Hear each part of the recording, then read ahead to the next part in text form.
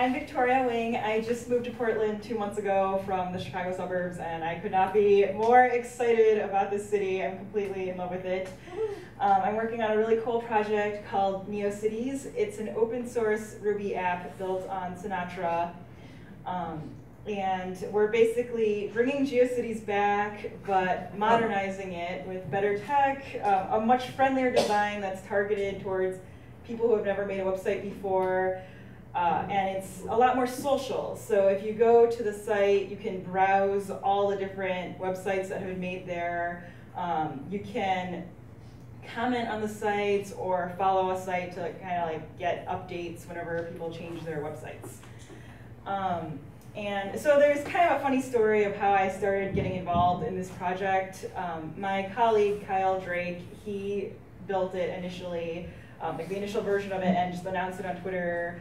And uh, the initial version was just using like one of the Twitter bootstrap templates, and it kind of had like this hackery manifesto about how we're bringing back the open independent web and um, I talked to him and I was like, this is awesome. I really want to help like make a better design because this could be so much more than just like this statement. Um, so I created this really friendly looking design with like gradients and like a cute cat mascot and everything. And so he posted that version on Hacker News. And the Hacker News people hated the design.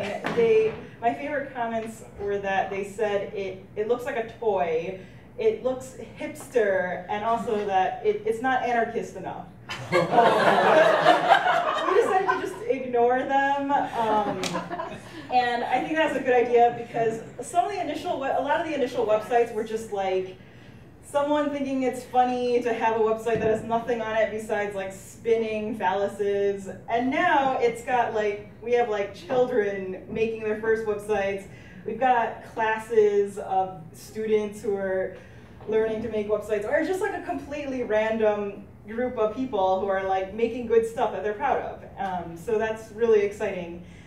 Um, and we have a lot of exciting things planned. Like one thing I want to do, um, when I was a young Rubyist many years ago, I was really inspired by Why the Lucky Stiff um, the poignant guide to Ruby, especially, and also his Try Ruby interactive Ruby tutorial. And I want to somehow tie this all together into this interactive tutorial that's uh, really integrated into NeoCities, where you just have like this one-stop shop to like learn how to make a website with having no knowledge about making websites um, and It'll have a cute like cartoon that like talks to you and leads you through it because you know it can be really intimidating for people who don't consider themselves to be technical in any way.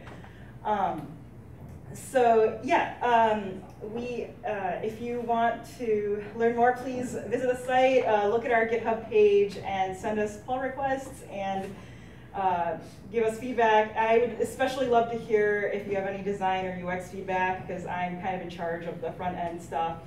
Um, and we will be giving a talk at Open Source Bridge um, in a couple weeks. So if you'd like to hear more, you can come to our talk. That's on Thursday. Thank you.